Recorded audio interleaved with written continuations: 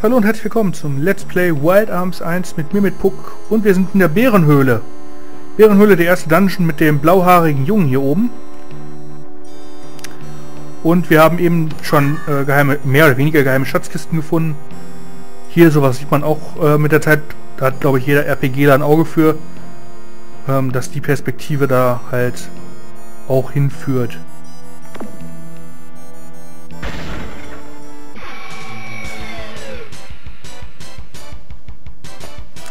Aber ich merke gerade, selbst wenn man hier Bomben hochgehen lässt, kommen keine von den Fledermäusen.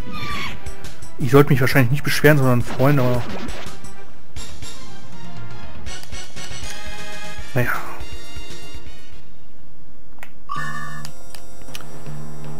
Äh, wenn dem so ist, dann kann ich da oben auch die Kisten schnell noch aufmachen. Ich dachte, man sollte hier besonders leise sein. Und das da hinten war nur eine Impulshandlung, weil ich den Stein gesehen habe, den komischen...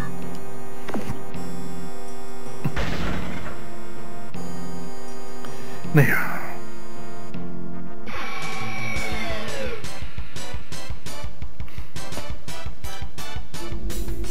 Ah, ja. Nachdem sie gemerkt haben, allein haben sie keine Chance.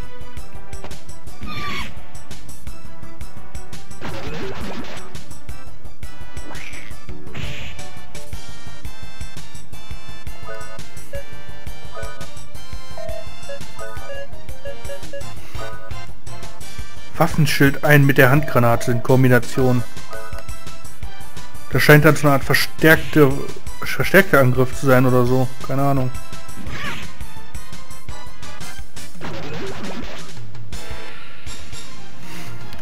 Ich bin mal gespannt auf den Bossgegner, da werde ich dann mal mit den richtigen Waffen schießen. Vorher hebe ich mir jetzt lieber auf. So, heilen wir uns mal. Nicht, dass uns hier ein Gegner überrascht. Ja.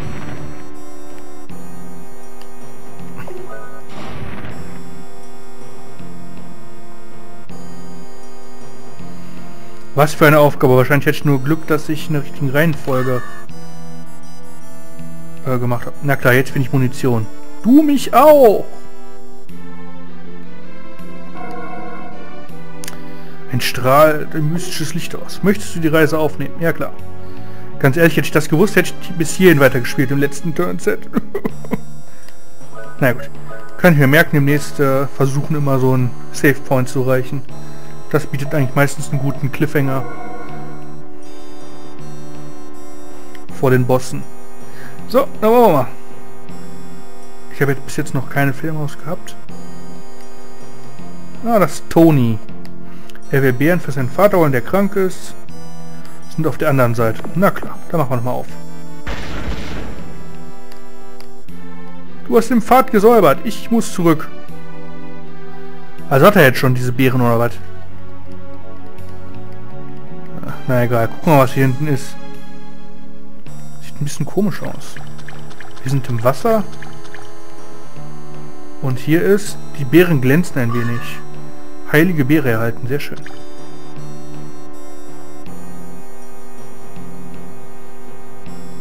Irgendwie klingt das gerade zu leicht. Kein Bossgegner? Ah. Wie aufs Wort. Dadurch, dass wir die heilige Beere mitgenommen haben, scheint jetzt dieser dieses Monster aus seinem Jahrhunderte, Jahrtausende währenden Schlaf geweckt zu sein. Oder vielleicht noch schlimmer, die ganze Erde bebt. Bis zu so einem Königreich anscheinend. Noch weiter. Man kann schon grob erahnen, diese Welt ist schon relativ groß. Für Playstation-Verhältnisse definitiv. Und das erste, was Toni ruft, ist Mutti. Sehr schön.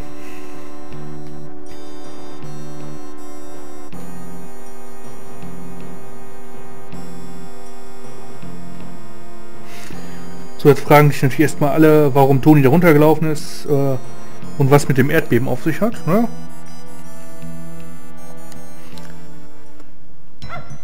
Und der Hund bemerkt aber was, der mit der Kohorte kam. Anscheinend scheint da doch ein Gegner zu kommen. Oder zumindest irgendwas passiert. Ich gehe immer vom Bösen aus. Ja, irgendeine Art Yeti, Grizzly, Saskatchewan, sucht euch aus. Sasquatch, so. Saskatchewan war, glaube ich, eine Region in äh, Kanada. Zombie-Gegner. Okay, gucken wir noch mal, was wir machen können. Handgranate. Feuer! Und er greift an mit fauler Atem. Mal sehen, was das macht. Ich glaube, Level 2 ist auch ein bisschen... Uh, uh 22 Lebenspunkte, das nicht wenig. 110 Schaden, äh, 17 Schaden. Das doch... Da ich ja nach, nach für Munition habe, los geht's! 127, ja gut.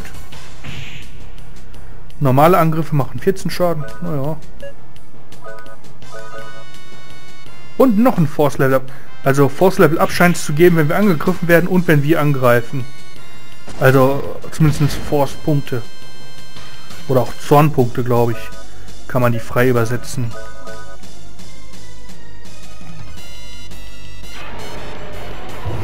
So, noch einmal schießen und dann erstmal heilen.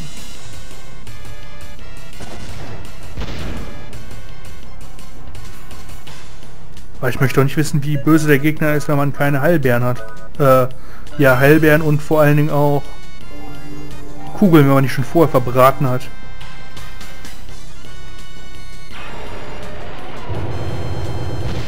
Die Grafikanimation ist wirklich ein bisschen sehr bitter, muss ich zugeben. Condition Green. Ist das was Gutes? Keine Ahnung. Okay, machen wir jetzt mal hier dieses Waffenschild ein. Was auch immer das für eine Spezialfähigkeit ist. Ich will es wissen. Lock on. Okay.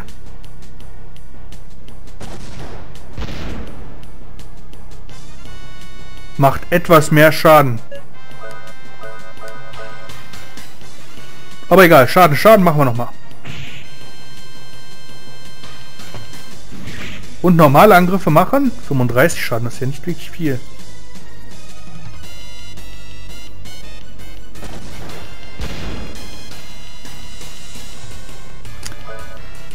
der Gegner ist schon erstaunlich äh, durchhaltefähig. Wahrscheinlich hat er geskriptete 1000 Lebenspunkte oder so ein Spaß.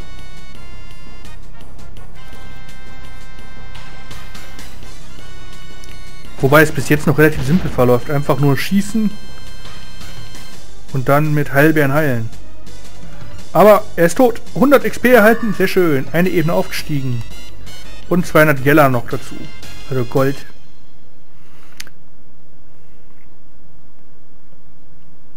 Puck wirft äh, dem sich regenerierenden Zombie die heilige Beere zu. Das heilende Licht äh, der heiligen Beere macht den Zombie zu Matsch. Okay. Also haben wir den Gegner wieder damit besiegt, womit wir oder womit er schon vorher versiegelt war mit der Beere.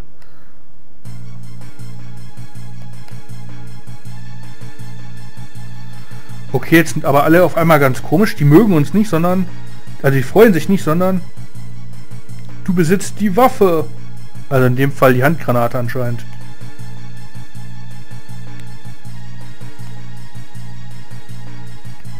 Und die Waffe wird uns ins Verderben stürzen.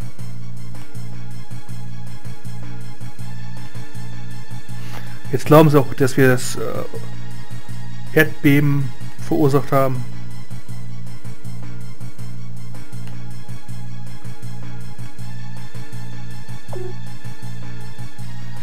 Du wirst nach unserem Dorfgesetz dafür gerichtet werden. Bist du einverstanden?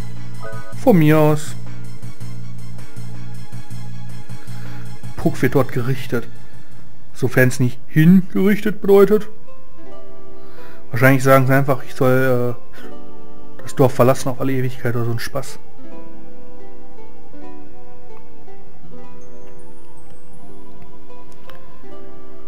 Jetzt geht erstmal dieses typische, äh, die Hexenjagd los mit, er ist böse, er ist... Er hat Waffen, also Waffe nicht im Sinne von Messer, Schwert, sonst was, sondern die äh, Schusswaffe scheint hier als Verbrechen zu gelten.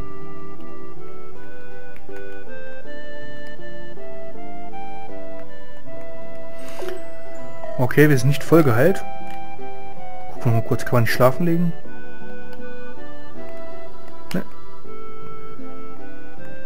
Zumindest nicht autogeskriptet hier, dass man schlafen geht.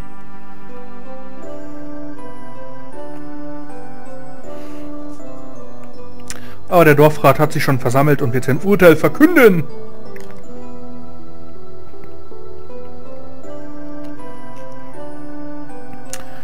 Und der Bürgermeister wird uns jetzt die frohe Botschaft verraten.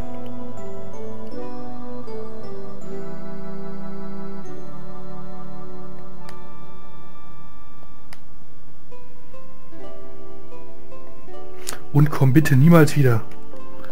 Du bist ein sehr freundlicher Mensch.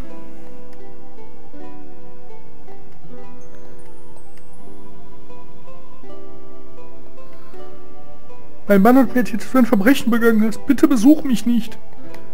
Also, die, die glauben auch alle, dass ich äh, Ebola, äh, Syphilis und sonst irgendwelche Krankheiten mir rumschleppe anscheinend.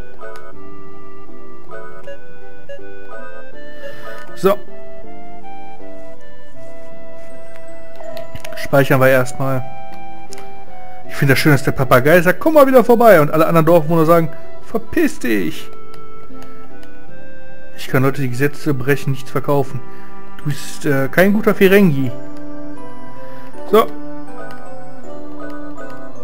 Naja, obwohl. Doch. Einmal voll heilen. Und weg. Aber Toni, der kleine Junge, den wir da unten gerettet haben, äh, kommt nochmal zu uns hingerannt.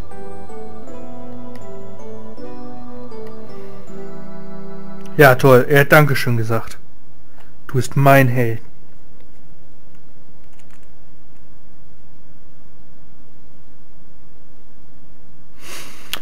Und jetzt wird nochmal schön erzählt, obwohl wir hier alles Menschenmögliche haben für das Dorf, äh, lehnen sie uns ab, weil wir halt eine Waffe haben. Also Waffe im Sinne von Arm. Also Wild Arms, Arm, also Waffe, hm. relativ äh, die Übersetzung. Im Deutschen ist der Begriff halt noch weiter belegt mit äh, äh, Waffe an sich. Im Englischen hat man dafür halt Weapon als allgemeines und Arm kann man da wirklich als relativ einzelstehenden Begriff für sowas nehmen. Aber egal. Damit haben wir den ersten Part von unserem kleinen äh, blauen Typen vorbei. Und äh, wir können anfangen schon mit dem nächsten. Nämlich mit dem Blonden mit der Klau äh, komischen blauen Maus. Hier werde ich wirklich nur den äh, Anfang zeigen. Die sind nämlich am Erinnerungstempel. Hanpan, ist das die Maus? Okay, ich mache mir Sorgen, er redet sogar mit der Maus. Jeden Fall wollen sie anscheinend als Schatzsucher hier in dem Tempel ihr Glück versuchen. Ähm, ich werde hier nicht allzu lange machen, denn ich denke, mit einer weiteren Episode kriege ich das dann auch durch. So, dass ich äh, einen halbwegs passenden äh, Speed gefunden habe für die Turnsets. Vielleicht finden wir etwas über die Superkraft heraus. Was auch immer die Superkraft ist. Aber die Musik ist auch schön, muss ich zugeben. Okay.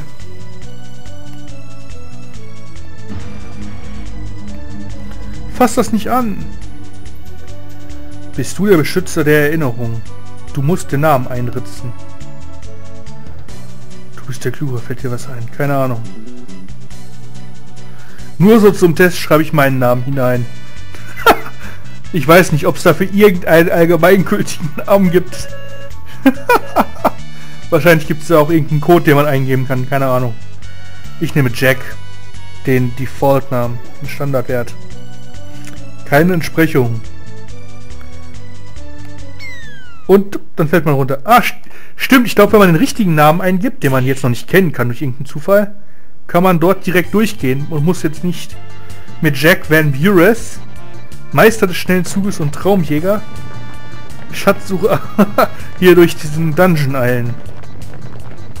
Die Windmaus Handpan. ist die blaue Maus anscheinend, okay? ich muss zugeben, das ist sehr cool gemacht.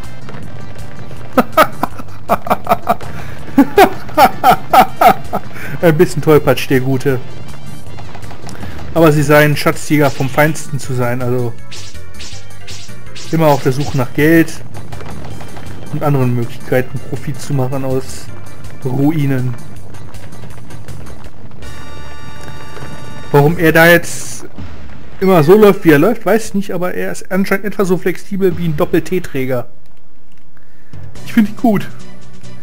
Ein Mann ganz nach meinem Geschmack. Okay, wir haben genug vom Such, machen wir uns aus dem Staub. Ah, und Handpan scheint sowas wie ein Enterhaken zu sein. Sie können wir losschicken.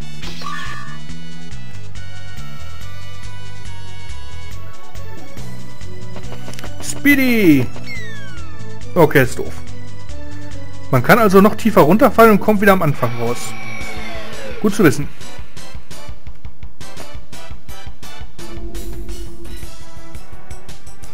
Ein Pillbug und ein Blumen. Unsere Waffe ist der Psychoschlag. Und Beschleuniger. Der Psychoschlag kostet MP. Okay.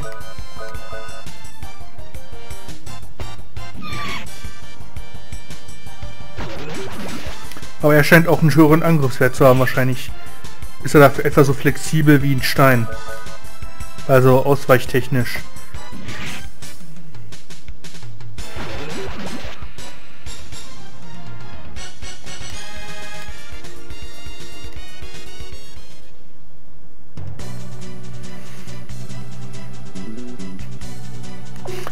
Lebenspunkt hat er 85 insgesamt, okay.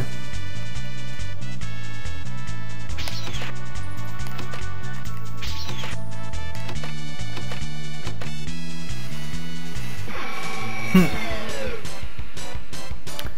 Also die Windmaus Handpan kann auch Truhen öffnen, wie man gerade feststellen konnte.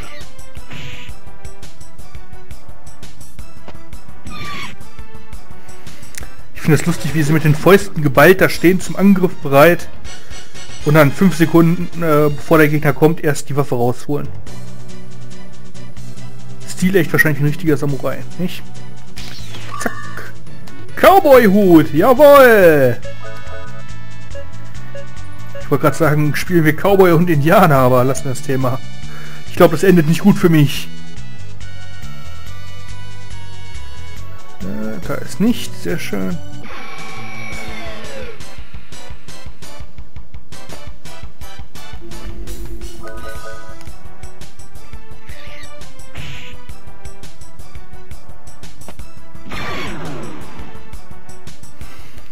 Super! Ich finde es ganz niedlich, wie die Supertreffer animiert werden extra.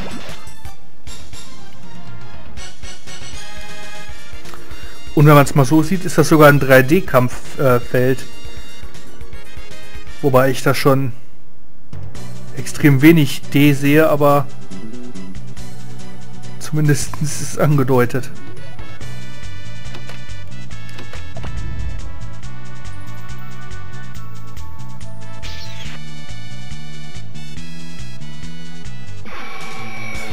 War das jetzt irgendwie die Kunst, dass ich nur da drauf treten muss, damit das Ding aufgeht?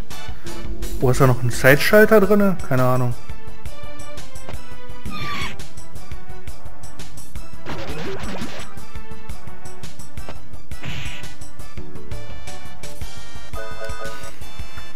So, komm, besieg den. Besieg den eben. Jack ist erschöpft. Uncoole Sache das.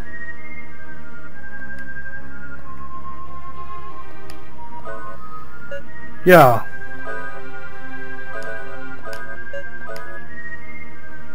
Wo wir schon bei uncoole Sache das sind. Vergessen wir das einfach mal. Und äh, ich werde jetzt einfach einen Schnitt machen. Und wir werden äh, das nächste Turnset einfach mal so angehen, als wäre die vergangenen fünf Minuten nicht passiert. Schönen Abend noch. Bis denn.